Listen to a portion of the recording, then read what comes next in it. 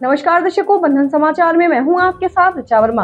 अब हम बात करते हैं जिला बिजनौर की, जहाँ से हमारे संवाददाता तुषार वर्मा से मिली जानकारी के अनुसार जिलाधिकारी मेश मिश्रा ने ग्राम खेड़की स्थित सीवरेज ट्रीटमेंट प्लांट का औचक निरीक्षण किया।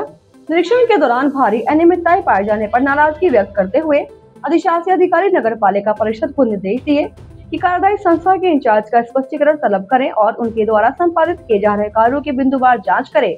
यदि जाँच के दौरान कार्यों में अनियमितताएँ और गुणवत्ता के अनुरूप कार्य न किए जाने पर कार्यदायी संस्था को ब्लैकलिस्ट करने और कर्मचारियों के विरोध नियमानुसार कार्रवाई करने की बात कही।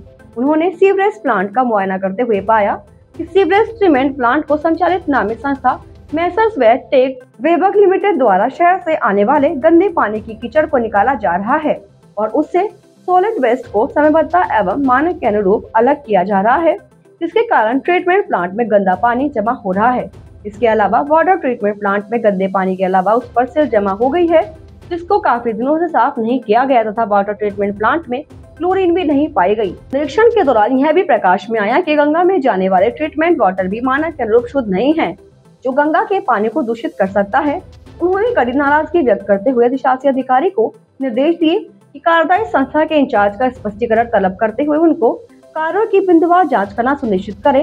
उन्होंने स्पष्ट रूप से कहा कि यदि जाँच में संस्था के कार्य संतोषजनक नहीं पाए जाते हैं तो उसे ब्लैकलिस्ट करके उसके विरुद्ध कार्रवाई अमल में लाई जाए। और इसी के साथ जुड़े रहे बंधन समाचार के साथ।